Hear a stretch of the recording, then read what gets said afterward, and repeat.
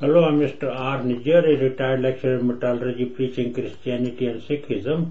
Here I'm going to render exposition of Luke 13 31 to 35. The same day there came certain of the Pharisees, saying unto him, Get thee out and depart hence, for Herod will kill thee. So some Pharisees, to see came and they told him, you know, to get away from here. Uh, Herod will kill you. Herod was once born, and uh, so they were just telling him, you know, that uh, anybody can get you involved.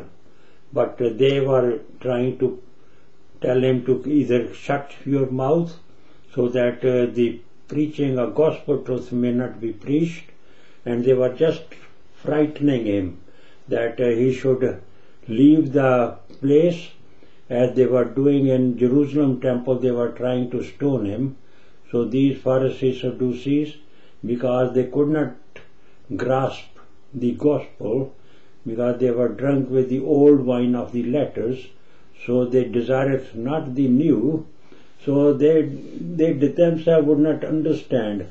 And if they did understand they didn't want others to know it otherwise their value is uh, lost.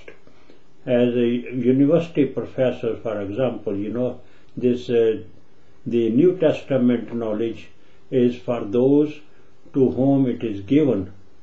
And like myself you know when i go there and uh, tell them this the exposition of the parable or anything related to religion which they they go by the book not by the spirit.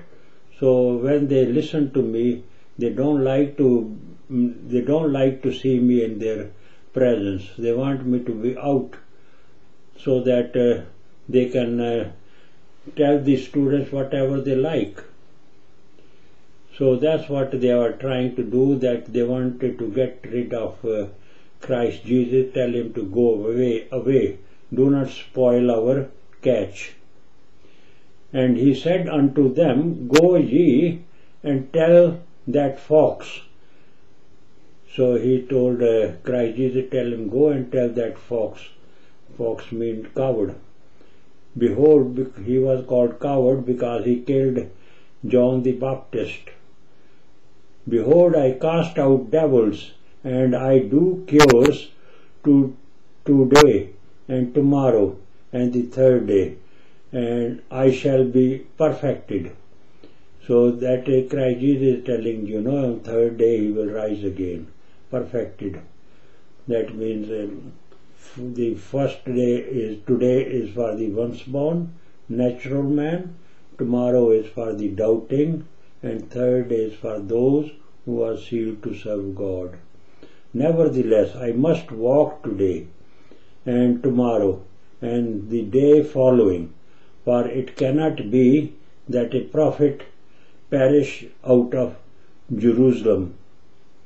So he is just telling that he his prophet is to perish in Jerusalem.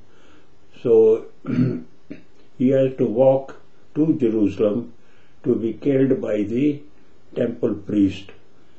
Jerusalem, Jerusalem, which killest the prophets and stonest them that are sent unto thee. How often would I have gathered thy children together as a hen doth gather her brood under her wings, and ye would not. So here Christ Jesus is telling them, you know, Jerusalem, so many prophets have been sent to you to put the to wet uh, to wet your uh, you, you put your church uh, temp, uh, temple at temple priest right so that they can produce good quality scripture. And those prophets when they came your people took hold of them and some were beaten some were killed and uh, you maltreated them. So how many prophets you need to be sent so that you be put right? so at the end, the owner of the temple, God, sends his own son, Christ Jesus, to put the things right. And so here he comes and he just reminds them what you have done to the others. And uh, God is trying to help you like a hen put, putting her child, uh, chicken under the under the her brood under the her wings so is uh, uh, God want to see that uh, you also produce uh, good quality people, religious people, and are protected as hen protects her brood. But ye would not, but you would not do it like that. You like to be not faithful to to the to the God whose house you are occupying, the temple. Behold, your house is left unto you desolate.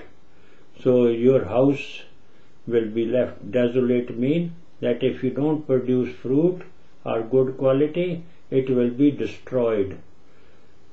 And verily I say unto you, ye shall not see me until the time come when ye shall say, Blessed is he that cometh in the name of the Lord. So he told them, you know, that you are going to kill me and you will maltreat me, and then uh, you will say in the time of uh, when distress or when the temple was destroyed, all those robbers which uh, the Barabbas and his people and which these uh, Jerusalem people asked to be freed against Christ Jesus. So they killed Christ Jesus and freed that robber and that robber when the, there was siege in uh, 66 to 70 AD, the robbers won't let them eat their food. They were so much put into a distress or it, they created hell among them. Anybody who cooked food and they smelt of food, they will go to that house and ask him to and snatch the food from their house and eat it themselves and won't let them eat. So some of those residents in Jerusalem, they were eating raw, raw grains of wheat and other things. They had no time to cook because uh, when they cook, the robbers will snatch it from them. So at that time, you know, they were troubled and dying, facing towards uh, the temple, repenting that if now some prophet come, they will honor him. That was too late. So that's what uh, Christ Jesus is saying, that in the time of trouble, you only remember prophets. When there is no trouble and you are uh, arrogant and you were trying to stone Christ Jesus in temple and then you killed him and uh, the blood of Christ Jesus is on the hands of the chosen people. So Pilate was just an instrument and Pilate when he was asked to judge Christ Jesus he could not find any fault with him so afterwards he went out in the sun and had a water over there and washed his hand in the presence of Son that I have nothing to do with the blood of Christ Jesus. So that's what he handed Christ Jesus over to the temple priests to do whatever they want to do. So sun stands for the primary source of light which is same as God.